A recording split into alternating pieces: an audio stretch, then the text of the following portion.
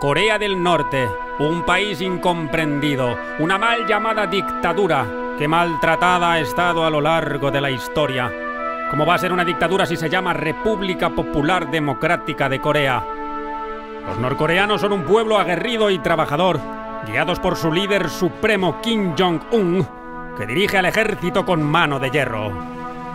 Corea del Norte y su líder Kim Jong-un.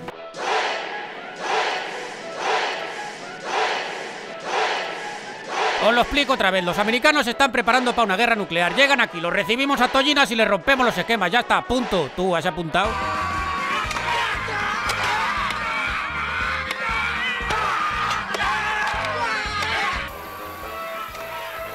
Habéis visto la que le están dando a ese, ¿no?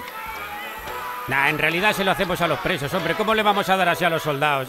Lo ven desde fuera y se acojonan, ¿eh? La guerra psicológica de toda la vida, no tenéis ni puta idea. ¿Al- ¿Alguien quiere mirar, eh? Ah, va a salir uno que dicen que tiene muy buen pegar. ¿No queréis? Bueno, voy a mirar yo que a mí faltan unos recursos. ¿Le puede dar un par de hostias más a Claro ese? que sí, hombre. Muchas gracias. Hoy no ha venido José Luis, el que suele hacer esto, y como no entiendo su letra, no sé qué puntos hay que tratar. Así que decir vosotros lo que queráis con libertad. ¿Qué pasa, hombre? ¿Si os ha comido la lengua al gato?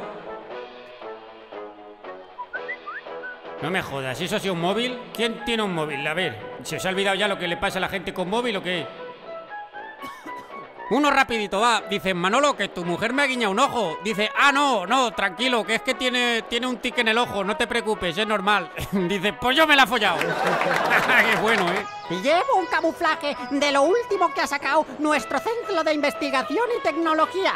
Igual no me veis si solo escucháis mi voz y estáis torrallaos. ¡Larga vida Kim Jong-un! Eso es carga legal de toda la vida. Lo que pasa es que ese árbitro no tenía ni puta idea de nada. Perdone la espera, señor. Aquí está el tanque nuevo. Pieza de Alemania y todo muy bien hecho. Sí, qué bonito, sí. Tiene fuego por ahí, majo. ¿Quién tiene fuego? Eh, tú. Eh, dame fuego, hombre. Coño, qué susto me has dado. Niño, ten más cuidado con eso, hombre. Y me dice, no, si a mí el dinero me da igual, yo hago vídeos porque me gustan. Le digo, como todos, no te jodes. ¿Pero cómo no me voy a enfadar? ¡Si me han puesto un nido en la espalda! Bueno, soldado, solo puedes disparar dos veces que las balas están muy caras. Cuando quieras. Muy bien, siguiente. ¡Eh! ¡Esa las pagas tú! Es que me he liado. Es lo que digo, tú tiras la línea así en paralelo bien. Y eso no es fuera de juego en la puta vida, hombre. Oye, luego que vaya alguien a por las balas, es que no sabéis a cómo están ya. Me comentan que el coche oficial ha pinchado, que va a tardar un poco, ilustrísimo. ¿Le puedo traer un cortado o algo? ¿Algo fresquito? Hombre, pues un cortadico sí que me tomaría, ¿eh? Hay que corregir esas posturas al disparar, almirante, que luego las hernias van que vuelan. Entramos en la Casa Blanca por aquí, y el grupo Alfa y grupo Tango dicen lo de quieto todo el mundo, esto es una invasión. Y entonces empezáis a evacuar a la gente. Pero con cuidado, ¿eh? Que luego me acusan de invadir fuerte. Y los ayudáis a salir, y uno para afuera, y otro para afuera. Y cuando estén todos, me llamáis. Y entro yo ahí con toda la parafernalia y todos los bailes, y, y ya está. Y, y, joder, es un plan perfecto, hombre, sin fisuras. Ponerse en fila y que se os van a dar un pin del ejército de los muy bien que lo habéis hecho. Gracias. Dale, gracias, majo. Gracias, señor. Las que tú tienes, hijo. Gracias, señor. Venga, a ti. Oye, esto va para mucho, que faltan 10 minutos para el Barça Atleti.